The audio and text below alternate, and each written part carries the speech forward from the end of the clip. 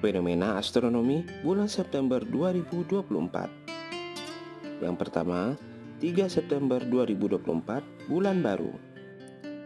Bulan akan terletak di sisi bumi yang sama dengan matahari dan tidak akan terlihat di langit malam. Ini adalah waktu terbaik dalam sebulan untuk mengamati objek redup seperti galaksi dan gugus bintang karena tidak ada cahaya bulan yang mengganggu. 5 September 2024, Merkurius pada elongasi barat terbesar. Planet Merkurius mencapai elongasi barat terbesar sebesar 18,1 derajat dari matahari. Ini adalah waktu terbaik untuk melihat Merkurius karena ia berada pada titik tertinggi di atas cakrawala pada langit pagi. Carilah planet rendah di langit timur tepat sebelum matahari terbit. 8 September 2024 Saturnus di oposisi. Planet bercincin ini akan berada paling dekat dengan bumi dan wajahnya akan disinari penuh oleh matahari.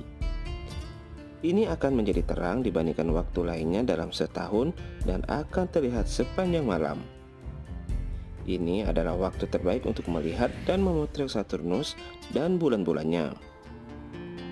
Teleskop berukuran sedang atau lebih besar memungkinkan kita melihat cincin Saturnus dan beberapa bulan paling terangnya.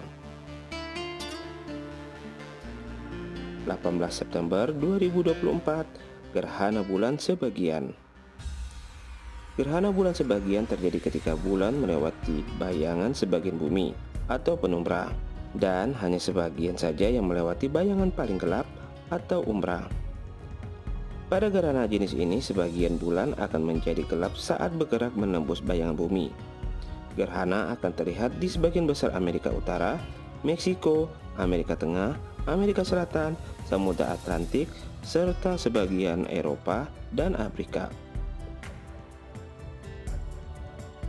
20 September 2024, Neptunus di oposisi. Planet raksasa biru ini akan berada pada jarak terdekatnya dengan bumi dan wajahnya akan diterangi sepenuhnya oleh matahari. Ini akan menjadi lebih terang dibandingkan waktu lain dalam setahun dan akan terlihat sepanjang malam. Ini adalah waktu terbaik untuk melihat dan memotret Neptunus.